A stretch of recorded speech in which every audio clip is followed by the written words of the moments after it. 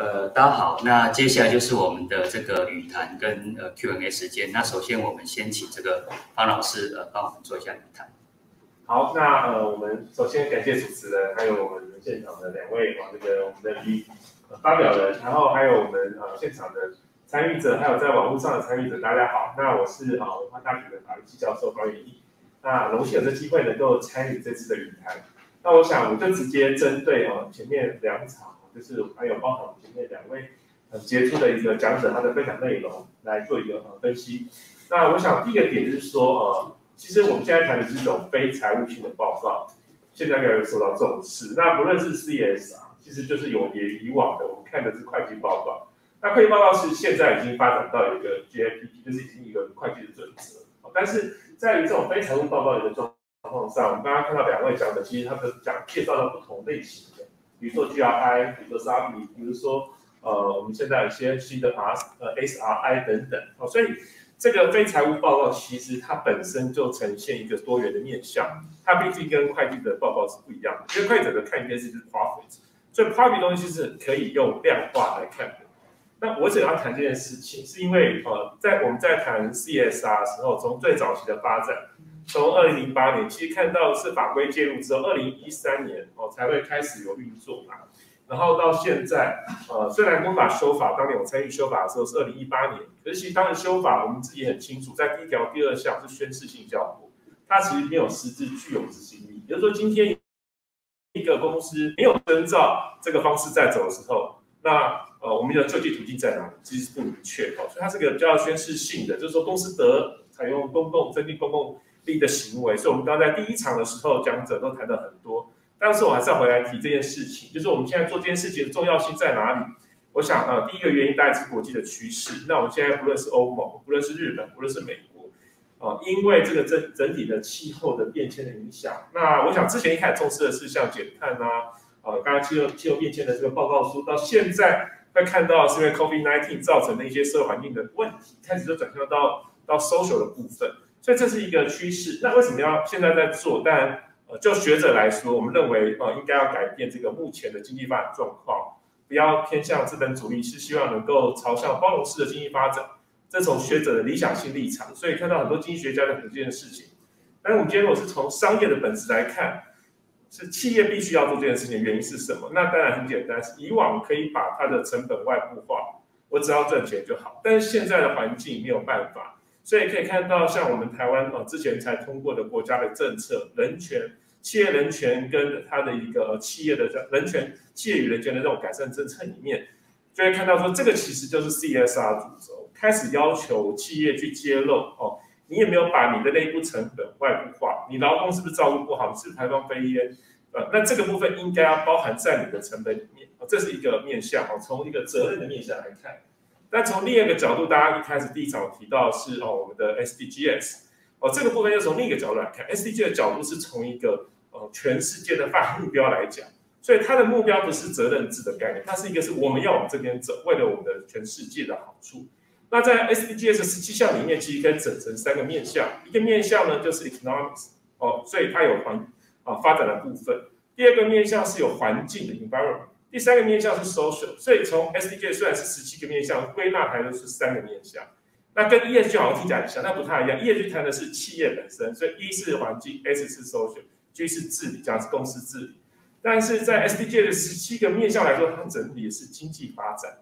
社会跟环境是全球的。但这两者之间当然有它的一个共同之处。OK，好，那在我们又提到说，呃，在欧盟的发展上，刚刚有提到像 EV，那很多都是因为欧盟走的很前面。那欧盟的发展在推什么？他希望，呃，在欧盟在之前提了一个叫 Green Deal，哦，这是他们一个呃绿色政策，里面就包含希望透过金融业的力量来改造这个我们讲资本力量来改变哦，促进环呃促进它的一个呃环保部分。所以在里面呢，就会看到提到永续金融的概念。所以永续金融其实都利用金融业，特别是机构投资人、机构业的力量。那那我们刚刚就看到开展出很多，比如说制造原则啊，比如说责任银行投资原则啊，哦等等的这一系列，但是还是要回归到一个啊点啊，因为我想说，其实最重要还是说表示现在非财务报告非常重要。但是第一个点就是绝对不要我们讲的 one size fit all，不要就是一包全部适合，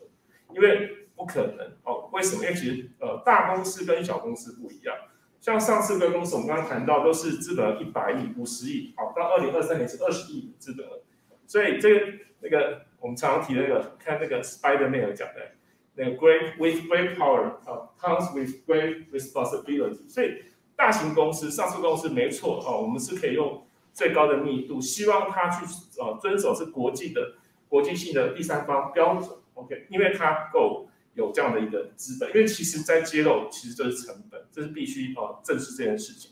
但是在中小企业呢，其实我们也在谈的，像我们啊黎巴利呃所呃我们的资深呃我们的律师在推动的，就是社会创新这个部分，其实针对是中小企业，还有非企业的，像刚刚一开始提到像合作社，因为其实企业的翻译看你怎么翻啊。你翻 enterprise 就帮大家，你翻 corporation 可能就只有公司。那其实，在谈社会创新，刚刚啊姜老师提到的部分，其实是这样的概念哦，就是说我们也要照顾到中小企业，还有合作社、非利组织，他们也可以来参与这个整个，在我们刚刚谈的一个非包容式经济的发展。那这个部分其实有一句叫做 everything is connected，其实所有东西都可以链接在一起的。那我再回到说，呃，刚刚提到的是哦。我们资本二十亿的，但是我们现在谈 S 呃 ESG，那其实啊 CSR 的以以往的角度是做比赛了，那当然现在很好，现在开始聚焦，是从 ESG 的方式来呈现 CSR，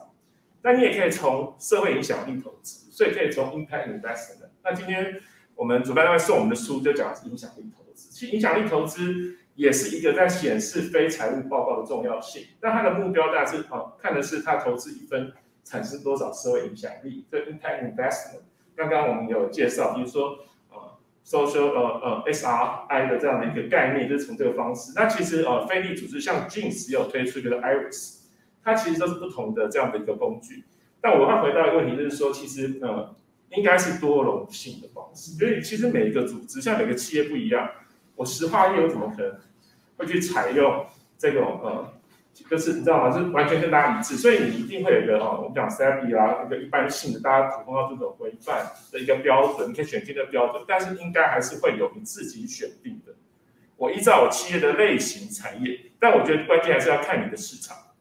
你如果市场在欧盟，你的供应链是欧盟供应链，你一定要配合欧盟，一定要配合德国。德国最近通过的一个法规，它要求它的公司的供应链必须要符合，特别是人权议题，所以人家说是新疆棉法。那为什么要做？因为你如果你如果没有做到，你的供应链你就拿不到他的生意。所以这块可能其实也可以去探讨。我们再看 ESG 的部分，我自己觉得说，其实企业应该要想一件事情，是我可能同时还要符合其他的标准。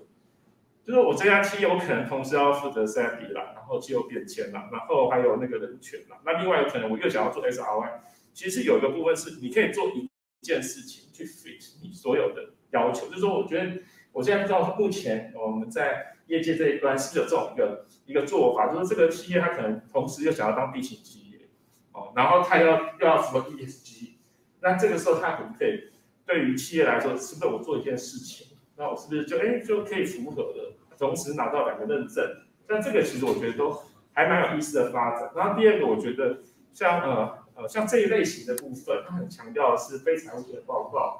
那看起来在法律上会非常重要，所以律师事务所其实可以扮演更大的角色。那像像德国的例子，他其实已经在公司，他在他们德国的采购公司的那个法律要求是变成董事的注意义务，公司经营者注意义务。所以 duty of care 现在已经变成是你要去重视 ESG，以前不要。那这个我觉得是一个法律上会有产生法律上的约束力。那这个可能我们在看那个呃一般上市会在公开说明书的时候，像法规风险的部分，其实是由律师事务所来做签证。在这一块我觉得是会相当的重要。那当然还有我们刚刚提到说，如果今天非财务性报告造假的状况怎么办？哦，那因为现在大家都重视，那万一造假，那那呃证券交易法如果是财报造假严重，对不对？我们可以看到二十条二十条之一相关的规范。可是如果是非财务报告造假的，那那个是什么样的性质？但是他在公开说明书里面，OK。那如果说是财务预测，可能最轻松嘛。但如果他，但他不是预测嘛，这其实是一个呃指标，而且你是说你做到，所以这个是我们很重要一块，就是我们的执行力是怎么样。这以上是我的个人的一些，因为大家很棒简报之后的一个回应。呃，呃，谢呃谢雨谈精呃精彩分享。那因为我们今天有开放线上的一个参与，那刚好线上有一位这个呃贵宾，那他有问一个问题，我想要请教一下，就是说呃主讲人看哪一位愿意来帮我们做一下呃说明或者是观察。呃，他的问题是说，目前 CSR 都是针对上市贵公司来执行嘛？那请问，呃，就是说未来有可能会转向台湾中小企业去推动这个部分？不晓得有哪位这个主讲愿意来帮我们分享一下？呃，那我就快速讲一下，依照我们的经验，其实现在不只是上市贵公司，那我们其实也接触一些，我我不能透露名字，像是呃宗教型的这些医院机构。他们很早就有揭露，呃，所谓 CSR 报告书，那也有现在其实呃，像还没有到新贵阶段的这些私人机构，其实陆陆续续我们这边真的就是资讯会在，就不管是说呃 SRI 这些他们特别编制的报告书，他都开始要往 CSR 报告书、ESG 报告书走，所以我觉得这应该是未来一个蛮大的趋势，包含很多未公开发行。这些私人机构也会是我们的客户，所以这是我这边一点点的分析。好，了解。好，谢谢谢。嗯补充一下，谢谢。因为其实这个部分很快一分钟就好。其实呃分为两个部分，像我们刚提到非利组织，其实像我台湾可理自愈联盟，他们是针对这种呃非利组织的做一个公益上的责性哦。那这部分，那另外中小企业其实目前主要是经济部中小企业处有个社会创新平台，那透过那个平台。可以辅导走这部分去协助，然后最后当然是嫁接到我们现在比较高规格的我们的国际规格，所以这个大概是有看到目前的趋势是这样子。对，稍微补充。一点呃，我这边也补充一下，那中小企业这边的话，其实也会受到相关的一个要求。那它的要求驱动力在是客户端，因为现在我们现在有很多品牌客户端，它就会要求它底下供应链，因为它要去做整个供应链的风险管理，所以它不一定会要求还要去编制一份 CSR 报告。它可能公司自己会拟定一个供应商的永续问卷，他用问卷的方式调查，说我底下的所有的供应商，你是不是有做到人权政策？你是不是有做到七天政策？他会去用呃，无论是勾选的，或者是加上一些佐证档案的方式，来去请供应商去填写这所有的问卷。这是第一阶段。第二阶段他会做实地访查，就是他会直接客户端到呃，客户端直接到供应商这边。去做一整天或者好几天的一个 onsite 的 audit，去确认说你是确实有落实这样的政策。那如果说你没做到的话，他会去辅导你，哎，就是协助你去如何去做补足这一块。那假设没做好的话，当然有可能最严重的情况就是呃停止交易或者是订单减少的情况。所以供应商的话，这边不一定会是直接去跟 C 业长报告，但是相关的作为都还是会有客户在那边会去要求。